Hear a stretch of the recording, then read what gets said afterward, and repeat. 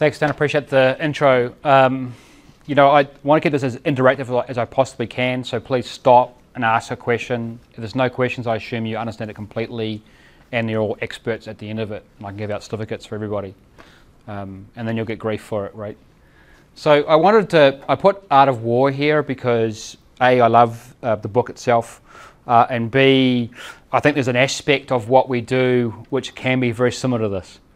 Um, we present an idea, we pitch uh, or we design an, uh, a thing for a client uh, or our internal our customers or BUs. Um, and we do it in a manner where we think we're doing the best we can for them, right? Uh, and a lot of times, what tends to happen as we look at a migration to cloud, and it's better now than it was two years ago. Uh, two years ago, there was a lot of hype on cloud migration, and it's somehow going to magically fix everything. Um, I've been in this industry 27 years now. Uh, I started building PCs. Um, I've never found a single thing that fixed everything, right? So it still amazes me today that people get caught in the hype of I'm going to move something and it's going to magically fix all my problems. Yeah, look, like anything in life, if I fix a performance issue in one area, it typically shows up somewhere else, right? So, a good example of that for me was I had a, I spent a lot of money on, by the way, uh, on an original Evo 1, Evolution Mitsubishi. And I thought to myself, how good would it be if I open up the pipes from the manifold through to the exhaust? So I did that, and then I broke my turbo. So I thought, okay, I'll replace the turbo with a very large turbo you can see where the story is going, right? So I continued the story and I spent 25 grand replacing every component as it failed to the point where the car was actually unusable for driving normally, right? Because I had tweaked it so much that it was only good for nine second uh, quarter miles uh, and not much else for anything other than that. Um, so the whole point of this is Art of War is, you know, not a uh, perfect guide of how you can run a business or your own lifestyle or your own personality or your own emotions, but it's a very good mechanism, I think, that covers off what we would expect to see uh, when I push something to the cloud and I want it to be elastic, I want it to auto scale, I want it to self heal, and I want it to be fast, and I want to be protected. Uh, a good example of not what to do is Censys. Sorry, Census. Sorry, IBM. Any IBM guys here? I apologize. I hope you weren't involved. because hopefully you weren't involved. Uh, but they're getting over the health, health SAP implementation. Yeah, well, that's another one, right? Let's not go there. So um, I hope it's interactive. I hope it means something to you. Please stop me and call bullshit. I'm happy to fight it with you. I'm a Kiwi, so it's what we do. Uh, but um, the idea is it to be meaningless, to be meaningful, not meaningless. So um, who am I? Awesome. we'll get there. You're good. So 27, 27, years, as I said. Um, last 16 in networking. Uh, I'm an engineer, but I converted to the dark side about seven, eight years ago. I still see myself as a technical salesperson, uh, but um, yes, I'm selling. Welcome to the real world of IT. Uh, and I ride motorbikes. That's pretty much what I do, especially in Australia. I love it. Um, there's a few of them I had. I've had a Busa. Uh, I had a Harley. I had an R6. This is not in sequence. uh, I had another Harley. Uh, and then I had a Duke. Uh, and then I had an Indian. And then just for giggles, uh, I'm missing one, but it's okay. Um, I also ended up writing off a, a Troy Bayliss signed 1098 on the track. Uh, wasn't my best day. Uh, rather expensive, non-insured version of it. Uh, that was 45k on a good environment, but that's all right. It's part of the fun. It's what you do. Uh, when, you when you ride bikes, it's not if, it's when. So you move on.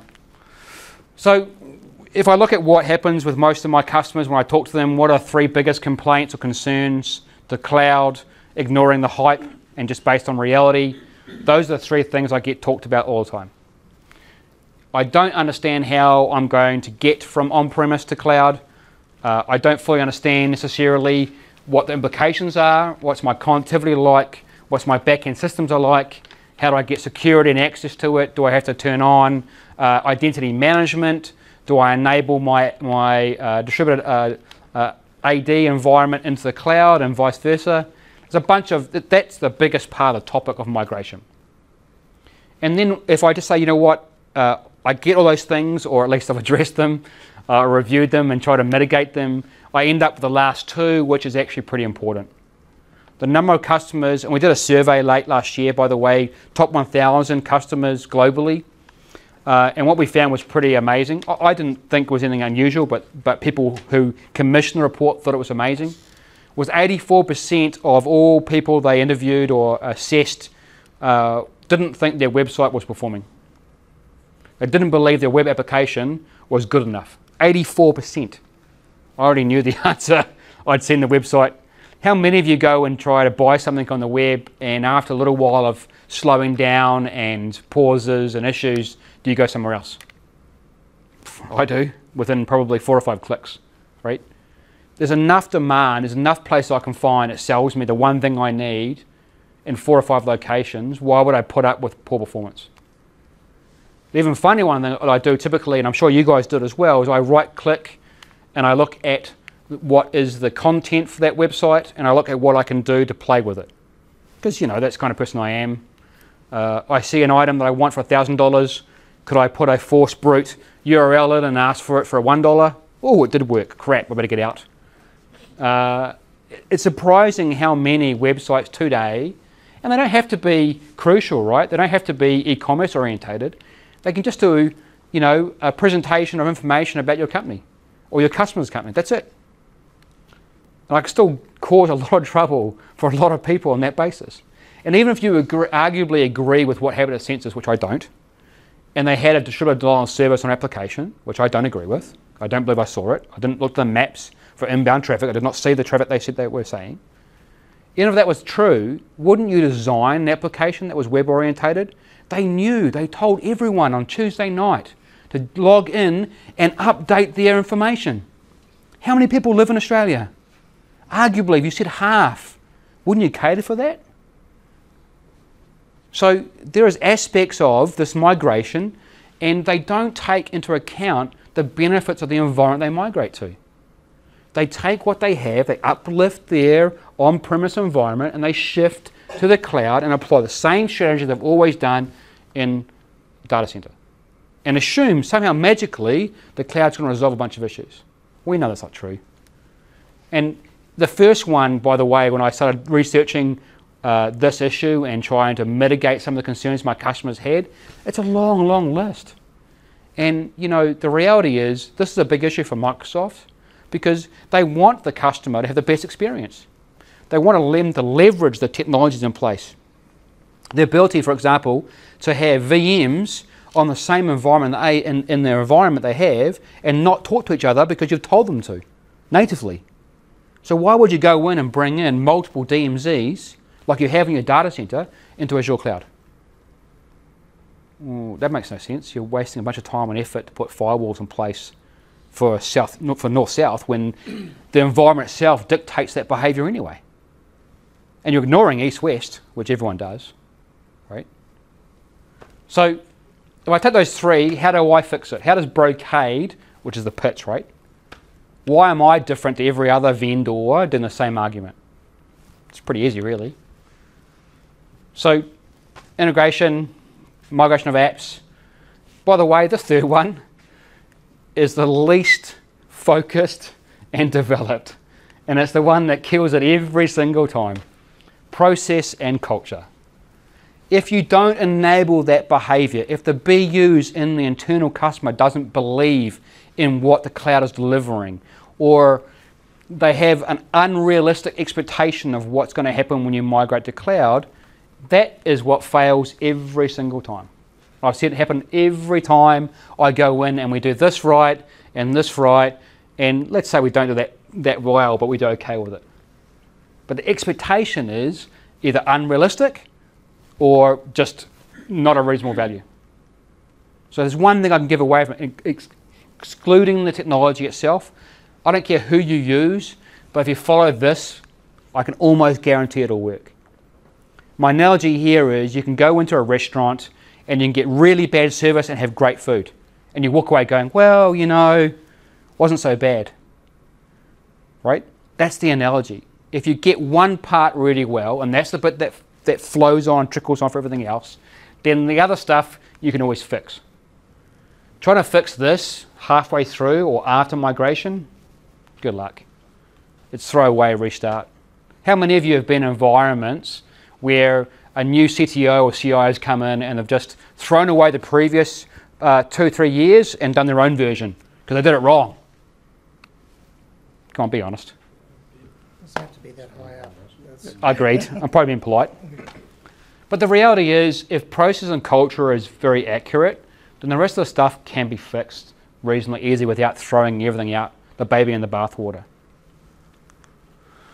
So it comes to the old, and I know this is a new uh, buzzword, by the way. Everyone loves automation, DevOps, blue green, right? But to a certain degree, it's probably more practical. I like to think so anyway. Less hyped, more reasonable. There are some net net uh, deliverable benefits in automation and DevOps behaviors, right? Does everyone understand what blue green and the mechanism of it and what, what it actually resolves? So if I take a VM or an environment and I have to update it, the old school way of doing this, I went in, I tried a change control, and I updated that particular VM or that particular command line or whatever that component part I needed to do, right? And how, how often would that be wrong? Or someone mistyped something, or it didn't get tested properly and it caused an outage, right? And you try to fix it. The principle behind blue green is I never go back to the previous instance of function. I replace it with a new version and I test it in the change window. If it does not work, I revert back to the blue. This mechanism is statistically proven to save 30% of all issues straight away without even doing anything else.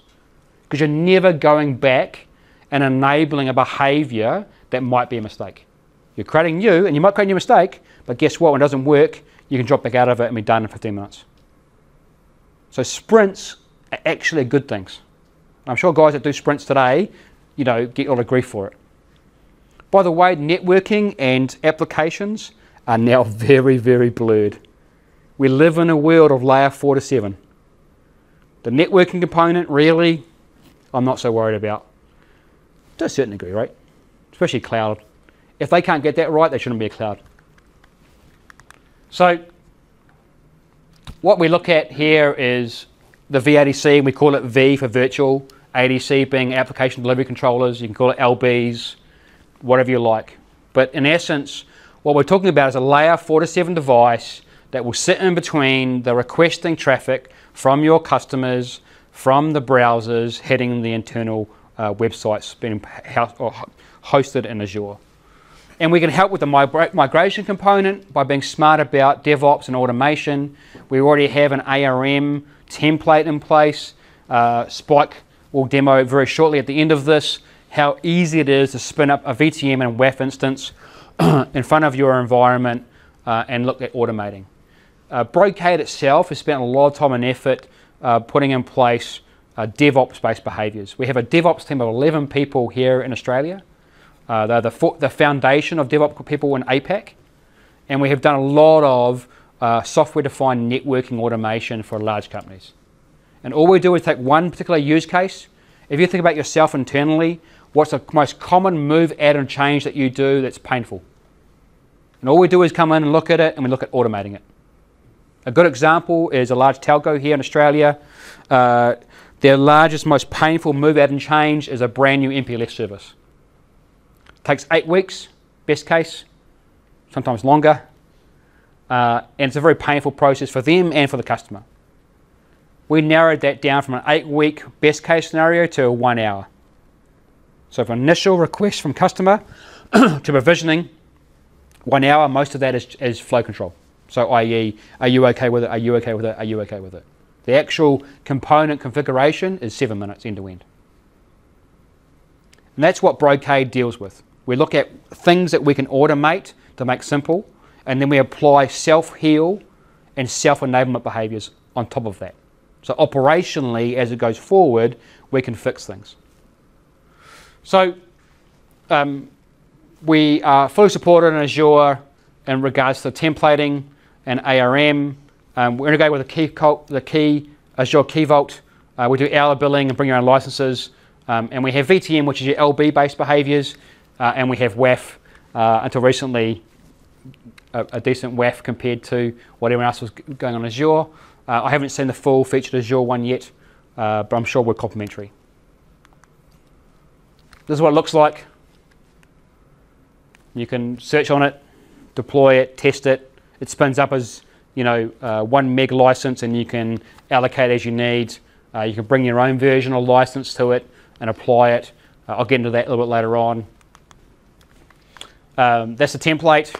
Uh, we have a slightly more enhanced version than that, uh, which is basically saying nothing, um, which I'm happy to give and let you know what it is and how it works. Um, we even take one step back from that and we're starting to use a Terraform template, which is an abstraction away from, from JSON, um, which is, can be beneficial because it allows you then to provision and migrate from VMware, for example, on premise to ARM, uh, and it does both at the same time.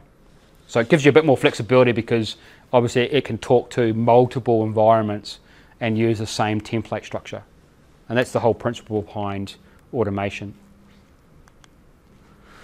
Um, we have a thing called Bro a Brocade Workflow Composer, uh, or BWC. Uh, BWC basically uh, we got with StackStorm. We bought them about a year ago. Um, StackStorm's all about the idea of event-driven management. This is the principle behind self-healing. In essence, BWC is the provisioning mechanism. StackStorm is the operational checking and valuing. So in essence, what it does uh, is allows you to run sensors and then rules and then actions. It's that simple. Good example is I have a sensor that looks for a VM behavior. The VM behavior stops performing like I want it to. Sensor picks it up. It says, what three common rules would a Tech 2 or Tech 3 person do in this scenario? Reboot the VM, reissue the VM. So the, workflow, the workflow composer will go, okay, I'm going to re-instantiate the VM. Did it fix the problem? No. Okay, what's my next step? And you can apply as many of those rules as you like. In essence, what it's trying to do is stop the level of requirement where an escalation person has to get involved with minor behaviors. And all they would do is three common behaviors in the first place reinstantiate, reboot, reinitialize, right? Simple, simple things. That's something that can, that can be smart enough connection. That's basically the principle behind a self heal behavior uh, my VM is no longer working or my particular microservice is not doing its job properly, recreate it. Did that fix the problem? No. What's the next step? That's BWC. It also allows you to do um, initial provisioning as well. So you can actually spin up a brand new environment on premise and cloud and then stick the monitor at the same time. Um, and it's at this point at no cost. Right? You can download StackStorm and BWC uh, and deploy it and work with it and at no cost. Log support case, different issue. And by the way, that's the trend that we're going to be seeing in this industry. It, that product is zero cost, but you pay for support and for customized stabilization. Ultimately, you're going to pay somewhere, right? It's just the, the meaning of the world. So that's the architecture. In simple locations, it's workflow behaviors. You have a bunch of UIs um, and we cover off HTML, REST API, form fill, command line cut and paste, because we have to. There's such a massive install base of uh, old school behaviors that we have to cater for all those things to make one linked uh, workflow work correctly, which is what we did at that large telco. We had to go do command line cut paste on Cisco and REST API calls on Brocade switches and a whole bunch of stuff in between. Uh, and then you've got composable uh, services, um, uh, credit, you know, workflow engines, uh, authorization, data stores, and this is all based on OpenFlow.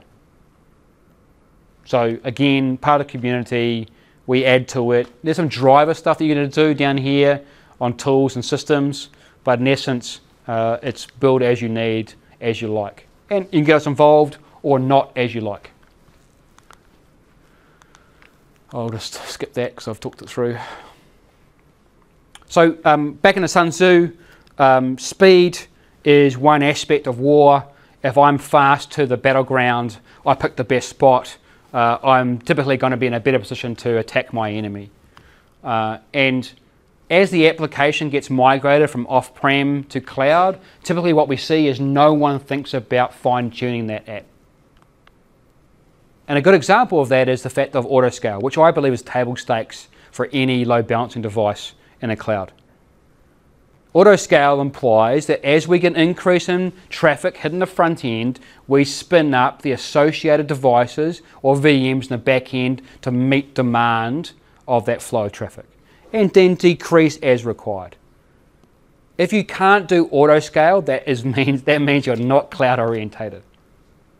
If you can't spin up and spin down, because the LB device is the device that understands the termination of SSL understands the flow of traffic, it gets to understand HTTP and all its behaviors and have its access through the back end.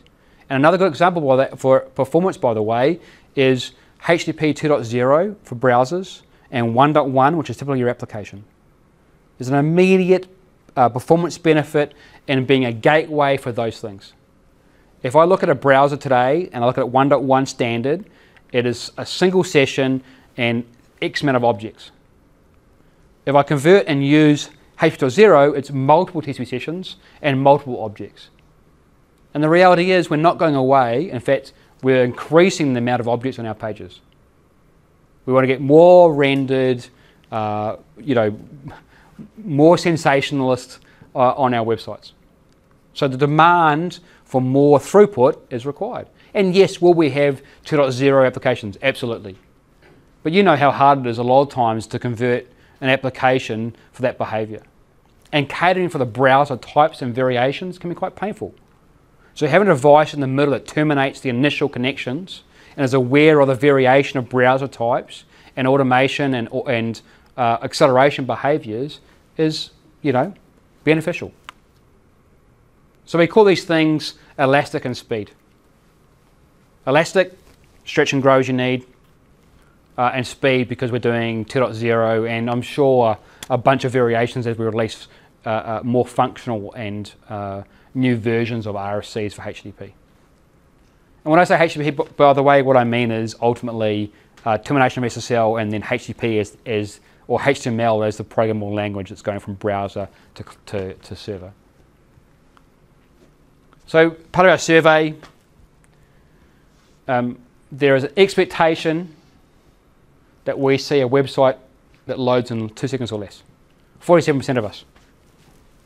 I think, I think that stat's quite low. It's been, that's been the accepted uh, time for the last three decades. Right. So the reality is, I want it to pop. If it's not popping, then I'm going to lose attention. And I can't see too many millennials in the room, but those guys especially uh, don't like having it wait. Uh, and out of those, 40% abandon more than three seconds delayed. It's a little bit harsh. Depends how much I want the product. Some of those transaction sites can take longer, like credit card. There's Yes, uh, Like we need to But- manage the behavior. correct, exactly right. And, and, and set expectation correctly. Yep. If your first experience of the site is two seconds or less, and you come to it again, it's gone. Yes. If, uh, Yeah, if yeah, your yeah. First experience is three or four seconds. There's tolerations after it, but once it gets under that two-second mark, Yep. you can go back again. you're Yep. lost. And inconsistency, by the way, is the, is the number one bad value that you can have. Two, five, five, nine, nine, one, right? Because it just puts you in a situation where you, you don't know what's going to happen next. One of the things which I've, I've been noticing is uh, more and more sites want to have personalizations to Yes. drive the sale, and I think that's doing more damage to share- They are. Correct. not in order to customize the experience. They're killing it actually. Yes. Sorry, we're taking up all the questions. No, no. You guys will get a go later. um, you talked about the HTTP2 and multiple sessions and so on. Yes. So we, um, we have uh, some load balancing technologies for on premises, and um, we found that while you may scale out your front ends on uh, infrastructure as a service, Yes. you potentially get uh, socket depletion when uh, you set your browsers. Yeah, you can have 10, 15, 20 sessions. Well, you go, oh, let's say, oh, we'll have half a million people now come to our website, Yeah. which we do. Yes. Um, And, and, I- and I would argue at that point there is there is and that's the old school way of doing stuff by the way is it, oh, yeah. there's a mechanism of auto scale which I mentioned right elasticity for cloud means that um, if I confine myself to initial config and I run basically two sets of IPs in the front end then I limit myself to 100 and potent- 130,000 potential ports Yeah. Um, instead, of what I do if I use an elastic set of IPs and I use DNS to be smart about what I call um, reverse lo- So load balancing, Yeah. then I hit myself and say, well, I can spin up as many front IPs as I need to meet demand, and I'll never ever get, I'll say never ever, a very unlikely set of circumstances where I run it out of uh, uh, uh, ports based on IP. Because remember, if you've got a smart LB, it's also reaping. Yeah, the other aspect of my, s- uh, I haven't seen AWS, which I believe does a bit better, is that, um, With elastic IP, yeah, the uh, Azure thing is that it's when you, your DNS for your web app may, may have multiple IPs behind it, but Yes. it's a C name to a C name to Yes, a C name correct. to a C name. which is why you want an ADC to take uh, authoritative answer instead of um, uh, uh, another DNS-based behaviour. Yeah. Um, you're right, AWS does does a little bit differently. Still has the same set of issues. DNS is a 21-year-old protocol. It was never designed to the degree that we're relying on today, ever, ever. So there's a bunch of short-hole behaviours for DNS. Black holing is a good example of bad DNS, but what can you do? You can try and force a TTL value which is much lower, Yeah. right? But the browser holds it anyway. So you are structurally in a situation where is it perfect? No. Are there mechanisms to mitigate? Absolutely. And so if, if I look at what I would do on premise, it is actually quite different to what I do in cloud. On premise, I would do GSLB and I would be smart and I have multiple listeners and I would try and mitigate the risk. Would I still have it? Absolutely. With cloud, I wouldn't do the same strategy. Oh yeah, I'm not implying, but yeah, the two But- scenarios are same. Yeah, exactly right. So, so same same principle mitigation of the risk you're arguing. Um, the cloud variation actually what is what I call reverse LB, where I actually poll my devices to listen independent of the location, and then I dictate the same set of C names what the IP changes are. It's a different way of doing it, but mitigates a lot of risk. It's just a smarter way, and I'm happy to go in, in depth That's with you. yeah. We're doing it for a customer at the moment, and, and I'm an old school GSLB guy. And the guy that brought this to me, I sort of went, no, no, they went, oh, hang on, ooh, okay. It's just a few a different way of doing it. Um, you know, listen, everyone understands this, right? If you're e-commerce, this is the US numbers. I apologise, but you know that's the way of the slides. Uh, if you had a hundred thousand dollar business, the reality is you're going to be impacted by it. Um, and no one necessarily, unless you've started from ground up in cloud, fully understands the fine tuning required or the degree of benefit you can get. And there's a lot, by the way. By throwing, as, as um, uh, Spike will show you, just throwing a device that's smart enough from the get go in a base profile, there's an immediate benefit in behavior. Immediate.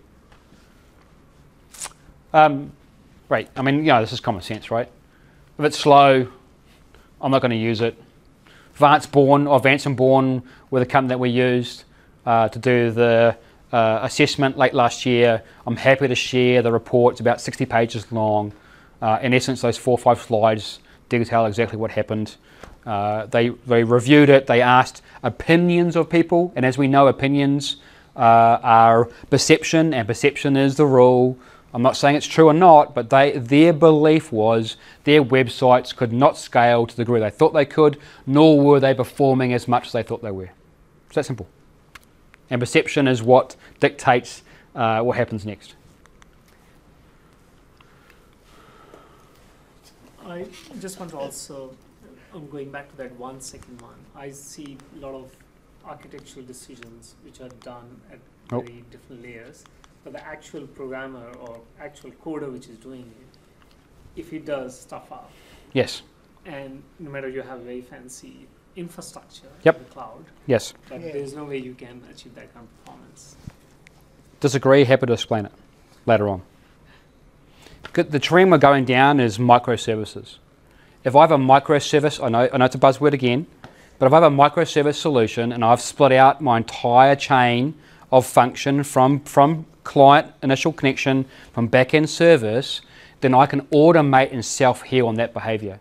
I can monitor or sensor a part of my infrastructure that's misbehaving and say that's not normal let me restart or reinstantiate that part of the microservice. Or that fixed the problem. So to a certain degree, I can argue I could. You're still limited by the technology that we have in place today, and the databases and the flow of traffic and the virtual switching. And there are some things, yes, a, a workflow instantiation cannot fix. But I can guarantee it's a far better situation than you have today. So I agree in principle, but I think we can fix it. I, I think um, what I was trying to say is the average coder or programmer working on a component of the Absolutely. page, he Right. may not have that kind No. of stack experience No. with the performance. And, and there's very there's very few people that do. Very few people that do, which is a shame. Um, because if I look at what I've been dealing dealing with the last 16 years and, in load balancing in particular, I had two camps constantly fighting each other. Networking, who did the implementation and did and understood the vast majority of the layer four behaviors, and then I had the, I had the application guys who wanted the device in the first place, and the two would never talk nicely to each other because they're in two different streams. And, and the good news is, the last two years, I'm now talking to people that are network dev people, and dev people are networking people. So I'm starting to see that blur a lot nicely now than I ever had before. That's the good news. So if you did these things, if you just did the basics, if you implement a device that just did the base profile for acceleration, HTTP 2.0 to 1.1, uh, the SSL, SSL3 termination and function and feature, uh, did the things that require some availability behaviors, then what we're arguing is you would see these values. Uh, and I'm happy to Pepsi challenge you on it. If we can't show this, then don't buy it. Seems quite straightforward to me. Go buy someone else's that can. So, Brocade have a function that we bought them off, River- off Riverbed a year and a bit ago. They bought off a company called Zeus. It was called SteelApp. It was a cloud orientated product. It came from Amazon and Google. They used it exclusively themselves internally. To a certain degree, both still do, but they call it by different names. Uh, but in essence, it was never it never came from a layer four up. It came from layer seven down to fix problems for applications. So it already does the table stakes. It automatically does auto scale. It does self heal. It does full RESTful API. All these things you expect an ADC to do today, we've done. Five years ago, they were way too advanced for themselves. They only sold virtual. You could not buy it as an appliance. It only did certain behaviors. For example, it wouldn't do forward proxy very well. So if you had a bunch of enterprise based applications, it didn't work very well. For the first time in a while, we're in a situation where we did containerization four years ago, prior to Docker. You could run it in a microservice behavior because it's very low footprint. All these things now make it a lot more sense for me to reboot this product into the market because it now suits the styles that we're seeing from customers. So, in essence, when we argue, we're saying fast delivery, we're more secure, and we're super scalable. It's because we actually are supported on every single cloud platform that exists today, even Oracle. So, if you want to install our product on an Oracle platform, we're already supported because we came from that part of the business. The theory is, is that ADC features today are commoditized. If you're paying a premium for your on-premise load balancing, and I won't name the names, I used to work for them, you're paying a lot of money for what was top right-hand quadrant technology three years ago. ADC is now commoditized. It means that you are expected to see less payment for the same service and easier to use. And that is our argument. And that's why we get those stats. Because ultimately, we are as good as anyone else. Feature for feature argument of ADC has gone out the window. There's no feature of ADC today that is any different than any other feature from any other ADC provider today. They're all the same. So, what differentiates us from the rest of the market comes down to flexible licensing and ease of use, i.e., cost savings and how easy it is to deploy and manage. It's that simple. So, if I look at that, and I'll the web the WAF stuff, um, Spike will run through as a demo. Uh, if you look what uh, uh, Microsoft released today, uh, we've been doing it for three or four years. There's a huge demand for it. Um, we are uh, in-depth behaviors. We uniquely are different in the market because we allow you to apply a positive security model in listening mode as well as in blocking mode. In essence, you get to run a negative enforcement value that says, I now know my application as of what I think of today in blocking mode, and then run a second policy that says, I still want to learn about the behaviors going forward. That's the uniqueness of what we do with our, with our WAF. That's it. Because again, WAFs are feature for feature the same mostly with every other player in the market. So it's about ease of use and how cost effective is it. It's that simple. ADC, anyone tells you differently for ADC, send them my way, I'll explain to them. Even if they are competitor. um, in essence, a WAF uh, as an application firewall, uh, we're talking about layer 4 to 7 up. We're not talking about layer, uh, layer 4 down, although it can do some of that. Uh, in essence, what we're focusing on is the aspects of HTTP only. Uh, and we are pulling apart the HTTP payload and we are applying a negative or antivirus set of behaviors to the traffic and saying, does it match a signature? If it does, deny. Uh, the positive model was all about uh, approving uh, an application flow from client through to server and response and saying these behavior changes are acceptable, the rest are not. By the way, that's the only way you'll get to a zero uh, day exploit protection. If you apply a positive security model, that is your only chance of not being susceptible to someone finding something different on Angel because it will be seen as bad behavior. And the number one failure of WAFs is a positive security model because it's freaking hard to do. And you have to maintain it. You have to deploy it with your dev guys. They have to go through UAT, test and dev, and production. You cannot do a positive security model and then throw a new version of the application in front of it and expect it to understand it. And that was the number one failure for WAFs in the last five years. Most of my customers that deploy WAFs either turned them off or put them in learning mode and left them in learning mode. Because they made one change after the initial deployment, brought a new application version on, and it broke. So again, process and policy dictates what happens to technology. And security is probably even more arguably crucial than this, than the development process for, for applications. I mean, we've all seen the press releases, right? The amount of hacks recently, denial of services, arguably, if you say it's had or not, I think they did, but you know, whatever. Um, I'm going to skip that past, but here's just a little snapshot I took. There's a website that shows you the last uh, bunch of potential, well, bunch of hacks that have happened in the last 10 years. Um, the large ones, by the way, are the amount of potential leaks that happened. Um, eBay comes to mind. Um, you know, Ubisoft. Uh, you know, anyway. Census isn't there. Yeah. no, Yahoo's. Uh, that's this was a presentation a couple, couple months old. But, you know, like riding a motorbike, it's not um, if you'll get hacked, it's when. Ultimately, if someone is that determined to do it, they're probably likely to do it. But your mechanism to know about it and alert on it and mediate is crucial. And that's enough scaremongering. Um, in essence, what we're arguing here is compliance which is about reporting and control. Uh, it's about revenue reputation. Um, you know, a, a, good example is uh, my uh, country's airline. Um, they hacked some of the, the um, login um, things in, in the airport, and porn started appearing on the front of them.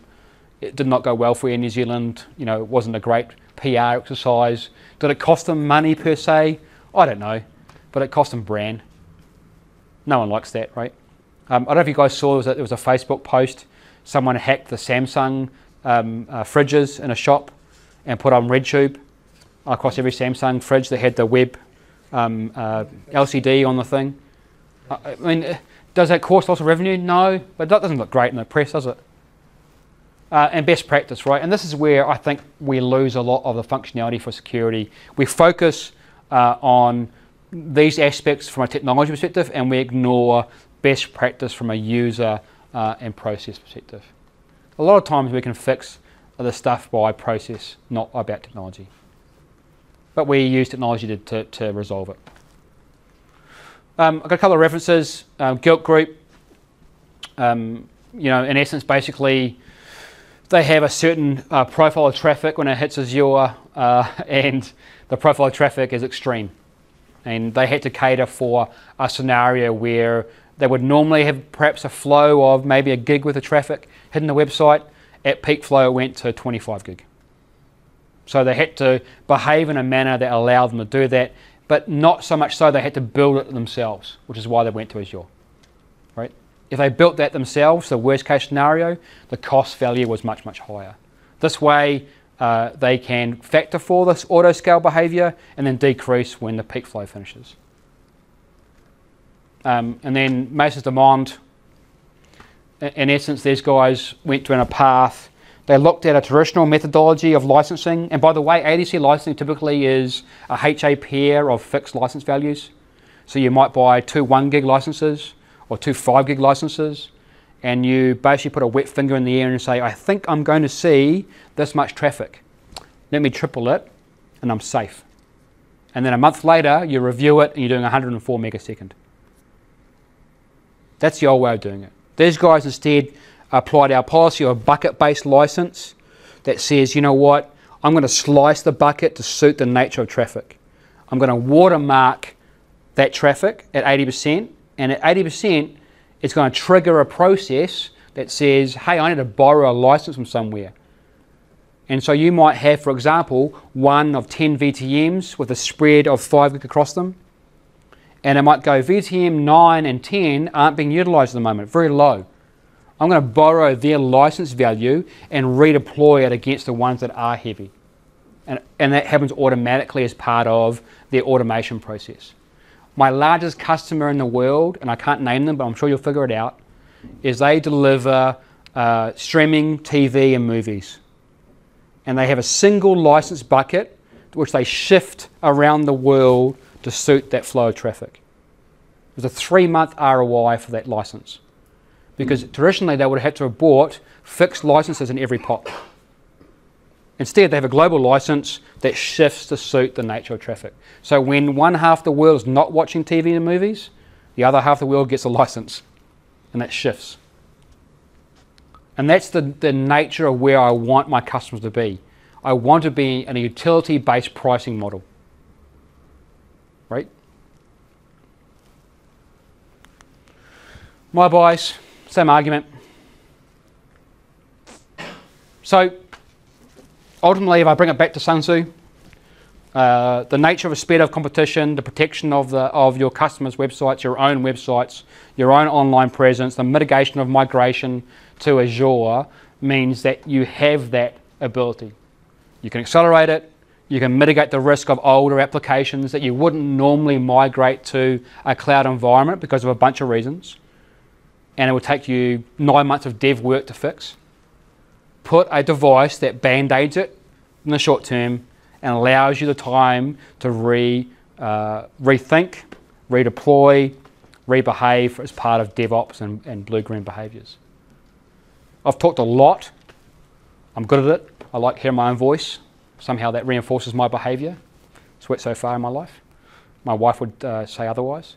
So, are there any questions? Have I talked bullshit? Because I'm a sales guy, right? Now. So I'm allowed to talk bullshit. Sir. So you spoke a little bit about yes, so you've got six thick, sick so, uh, application, blah blah blah. You can automate spinning up and so. Yes.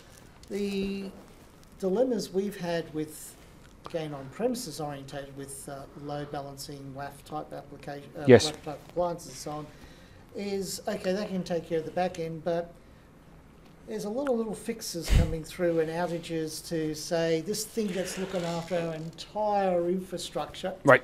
We're going to do an engineering fix. Oh, yep. there's a version upgrade. Oh, Correct. We want that to happen, so on. So, what's your cadence? Uh, what's typical of the turn around, or what's your approach? You spin up another VM with the new version? Yeah, let, let me grab my wallet and pay you some money. Um, great question. Um, that's, that's DevOps behavior, right? So DevOps behavior says um, rather than doing monolithic behaviors, one large set of boxes, or um, I'm going to amalgamate all my applications through this set of boxes because I paid a lot of money for it. Um, instead, let's be smart about the idea of saying, why don't I break these things out? Then, potentially, rather than having to do one large major outage and then not knowing how well the engineering fix was going to work, I can split out feature and function to suit. Now, what I'm not saying is, um, what's the extreme end of this, which is I'm going to spin up a micro ADC and a micro web server and a micro SQL and a micro whatever, right? And have now 100,000 micro applications. What I'm saying is be smart about how you group them together and then um, allocate the function and feature you require in front of it. Now, you didn't do that before because of a bunch of reasons cost, management, uh, operation, it's painful, and that was all true two, three years ago.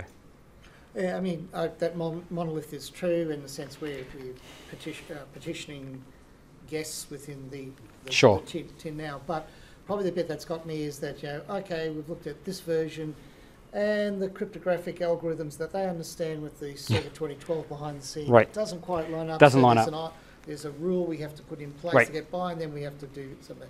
So what I'm probably looking at is more the case of, uh, well, yes, that monolith, but, but what's the cadence, typical cadence of changes that you have with regards to what, what your appliance, being virtual as they are and being flexible, but Yeah. what, what sort of things, you know, and, you know, Well, we typically release a function, engineering fix every month. Um, and it might vary. It might be a private fix, it might be a public fix.